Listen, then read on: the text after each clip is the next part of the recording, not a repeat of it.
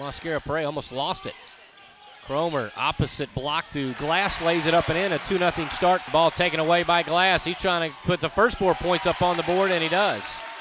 They'll go to Merriweather.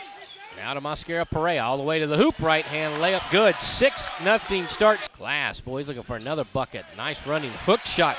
Boy, Tevin Glass, very aggressive. Michigan in for the Buccaneers. TJ Cromer, awkward looking shot, took a little bit of a bump. Jesse DeLoach, another athletic, raw post player bright future. With a shot for three. Yeah, good job by Sled holding his ground. Pugsley had his pocket pick. Jermaine Long finger roll layup good. Second steal for the Bucks. It results in a coast-to-coast layup. This one no good. Cromer tapped it to the wrong team. Sled hook shot no good. Matumbo follows and gets it to go. Over to Merriweather. Trying to get to the rim. Bell out pass to Payne. Step back threes up and in. Now he blocked by Mosquera Perea and Desonta Bradford just flushed it home with a left hand. Payne uses two screens, then step back, fall away three, and he hit it. Boy, ETSU off to a hot start already. A run out for Peterson, and he'll miss a two-handed dunk. Then Matumbo got his shot blocked. Then Matumbo laid it up and in. He has, and we talked about the depth up front with those young guys. Pugsley from the parking lot nails a three. Merriweather in the corner, shot for a three is up and in. Ball knocked away and another steal. Merriweather in front of the pack. He can fly and he flushes it. Oh man, outside the paint, a tomahawk. Ball knocked away and another steal. Merriweather in front of the pack. He can fly and he flushes it. Instead, ball they can get there. Tevin Glass layup good. Glass 10 points in the first half already. In all season, that's not a shocker. Goslin, nice move to get to the rim and a layup good. Boy, now that was a nice play. On to Tevin Glass, one dribble shot off the high off the glass is up and in. Try to go inside the glass. Tough catch, tough finish. Wow. Inside of Mosquera Perea. Nice move on the baseline. Got past the freshman and who passes on a layup attempt. Out to Stager. Back to back triples for him. It's a four on two. Cromer will trot from the right side. Misses from the left. Knocks it down from. I'll go to Cromer. Wants it back. Cromer will drive. Force up a shot. He got it to go. That's an unbelievable shot. Kicked it back out. Ike Banks, right hand layup off the glass is good. He's got four points. Long to Williams, the lob. Devontavius Payne from Williams is up and good. Matumbo all the way in over a couple of big guys, able to get that to go. Wants a three, can't get it. Ike Banks, strong rebound and a putback. Brooks somehow came up with a basketball. They tried to throw down low to Stager. Stager. The 60s head toward postseason. Big, strong, athletic guy. Going to draw a lot of contact. Get Good. TJ Cromer, an offensive rebound. He'll put it up and in. That's still up 72 48. Shot blocked by Mosquera Perea, and Cromer couldn't save it. Come up and under, shot no good. It came back down to Devontae Fuller, and then Williams will drive the lob, and David Burrell will put the exclamation point on the win.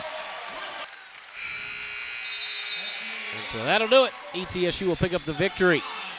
75 52 over the Catamounts of Western Carolina. Your thoughts, real quick, Bruce. Dominant performance by ETSU against a young Western Carolina ball club looking for an offensive identity. Inside Freedom Hall tonight, ETSU victorious 75 to 52 over Western Carolina, joined by the head coach at ETSU, head coach Steve Forbes. And Coach, it really started early uh, with the Bucks creating some defensive steals and some easy transition buckets. Yeah, you know, I was really, I was really happy the way we guarded early and throughout the whole game. Really, Jay, you know, uh, we let we held them in the low 30s uh, defensive field goal percentage wise, and then we came out and really shot the ball well. I didn't even tell our team at halftime that we had shot 73% in the first half, and you know, we had a couple of our post players go perfect for the game. Tevin Glass seven for seven, Hanner Perea four for four, and even Ike Banks was three for four. You know, 14 for 15 in the paint's pretty good. And you're able to, for, to force a uh, season high 27 turnovers. Cassio's into 23 yeah. points off and, the turnovers. You know, I felt I told him after the game, I felt like we had a really strong defensive presence today, and we didn't press. You know, we just we we turned them over 27 times, playing half court man to man, and so uh, I think that's a testament to where our team is defensively and where we can be as the season rolls along. Sticking uh, with one more defensive question, you, you hold them to no players in, in double figures, and they're a young team trying yeah. to figure some things yeah. out. But certainly uh, the defensive pressure and, and not allowing anybody to get going certainly a key to the game. I was real pleased. I all the way through. And I thought, you know, everybody starters, but I thought Jermaine Long really came in and helped us defensively. I, he's so good at the top there. He's long and athletic. He gets his hands on the ball a lot, and I really like the way he's defending. I like the way A.J. Merriweather's defending. He had six steals in the game, and uh, all in all, it was a it was a really good effort. You know, the second half got a little ragged, but I knew we wouldn't shoot 73% for the whole game, and we tried that against uh, what game was that? We shot almost 70%. Oh, was that Fordham? I Fordham, think. I it, yeah. But we, you know, 57%. Obviously, we'd take that every time. You look at uh, the contest, and this was a game where, where you, you have to bounce back against UNCG. Certainly, you kind of wondering about the mental state, but th- there really wasn't. I mean, it was from the start of the game, and I know it got sloppy thin, but, but really the first 30 minutes of the game, it was never in doubt. You know, I thought they really had a great mindset the last 36, 48 hours. You know, at Friday, Saturday, they they were really uh, good on Friday, and today they had. You were here. They had a good spirit to them, and we talked a lot about that. I was worried about them, not physically but mentally, because they were devastated after getting beat. You know, at home, they they, they take a lot of pride in, in winning at home, and and that hurt. And I'm glad it hurt. It should hurt if you care about what you're doing. And but I thought we came out in a very businesslike attitude today and, and got done what we needed to get done. Comments from head coach Steve Forbes. His team victorious today, 75 to 52 over Western Carolina. The Bucks will take on the Furman Paladins on Thursday.